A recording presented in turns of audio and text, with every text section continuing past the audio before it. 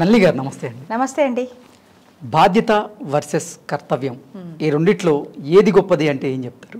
చాలా మంచి క్వశ్చన్ ఎందుకంటే మీరు ఈ ప్రశ్న అడిగాకనే నాకు కూడా స్ట్రైక్ అయింది. అవును మనం చాలా విరివిగా ఈ రెండు వాడేస్తూ ఉంటాం కదా. నిజంగా మనకి దీని అర్థం తెలుసా? అయితే తెలుగు భాష పరంగా మనకి దీనికి ఎంత అర్థం తెలుసు అనేది అనేది మనం కొంచెం అది భాషా పరిజ్ఞానం ఉన్న వాళ్ళే మాట్లాడగలుగుతారేమో దానికంటే మన జన మనం మామూలుగా జనాంతికంగా ఈ రెండిటికి కూడా మనం అసలు అర్థం తెలిసే వాడుతున్నామా అనేది మీరు అడిగాక నాకు కూడా నిజంగా స్ట్రైక్ అయ్యింది. కానీ నా ఈ ఇంటర్ప్రిటేషన్ చెప్తాను. ఎందుకంటే దీనికి ఎవరి ఇంటర్ప్రిటేషన్ వాళ్ళకు ఉంటాయి అయితే కర్తవ్యం కరెక్ట్గా యాజ్ ఇట్ ఈస్గా మనం ట్రాన్స్లేట్ చేస్తే డ్యూటీ ఇంగ్లీష్లో.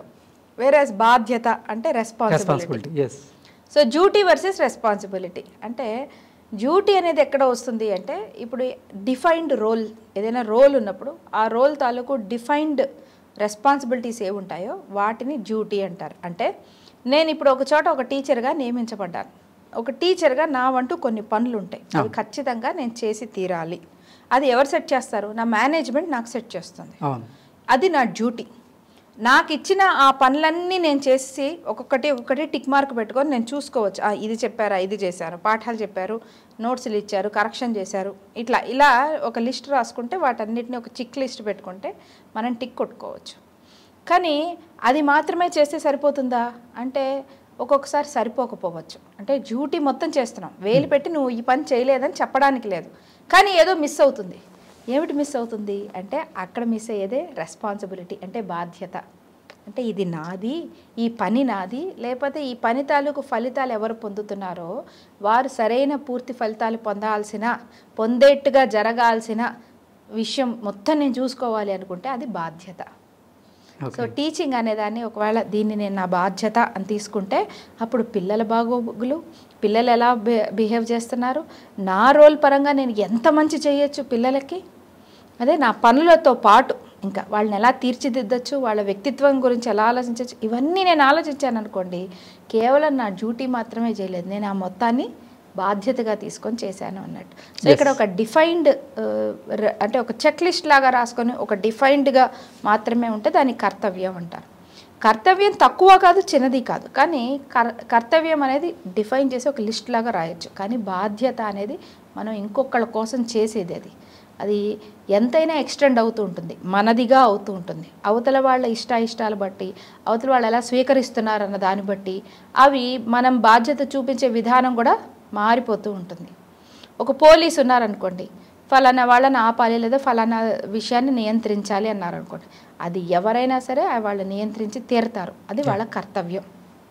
కానీ అదే ఒక తండ్రి ఉన్నాడు అనుకోండి ఒక పిల్లాడు ఒక తప్పు చేస్తే ఒకసారి చెప్తాడు రెండోసారి చెప్తాడు. మూడోసారి ఈ పిల్లాడు ఎందుకు ఇట్లా చేస్తున్నాడు? నేను ఇంకెలా చెప్పచ్చు? నేను ఇంకోలా ఎలా మారచ్చు? లేకపోతే నా వైపు నుంచి ఇంకో సపోర్ట్ ఉందా? ఇంకెవరి చేతైనా చెప్పించచ్చా? ఇవన్నీ ఆలోచిస్తాడు. ఎందుకు? పిల్లాడిని మార్చాలి అనే ఒక బాధ్యత.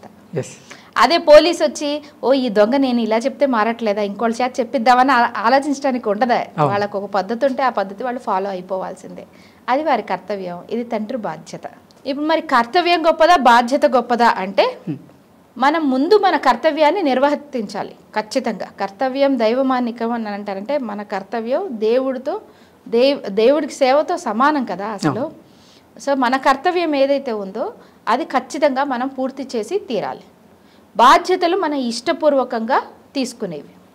సో కర్తవ్యం గొప్పదా బాధ్యత గొప్పదా అంటే కర్తవ్యం అనే ఒక బేస్ మీద అనే ఫౌండేషన్ మీద మనముగా మనం నిర్మించుకొని తీసుకునే బాధ్యతలు ఇంకా గొప్పవి.